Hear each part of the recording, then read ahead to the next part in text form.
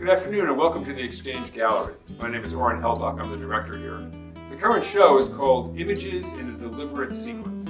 We invited artists to make work inspired by comics or visual storytelling in general. It could be any style, could be any medium.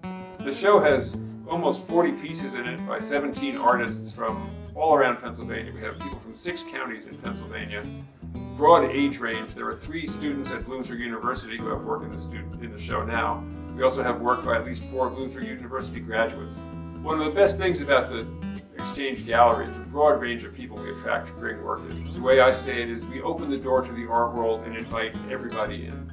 Could be a preschool student, could be a Bloomsburg University professor, could be someone who's been showing work their whole life. Their whole life may be four years, but they've been showing their work their whole life and it comes here. One of our regular exhibitors here at the Exchange Gallery is Chet Davis. Chet is a native of the coal region, worked his career as a high school art teacher, and still lives in the area, shows here with some regularity. He is both a painter and a sculptor in this show. The painting here is called Man Without a Country. It's a tribute to the life of Kurt Vonnegut.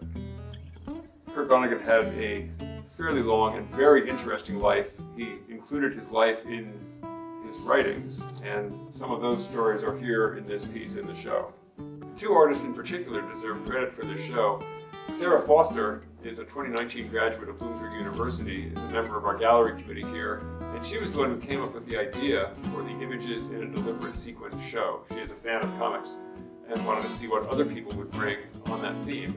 Gina DiGnazio, who has three pieces in this show, also a member of the gallery committee, a Kutztown University graduate. Her three pieces in this show are all decoupaged comics on objects. So there's key in the background.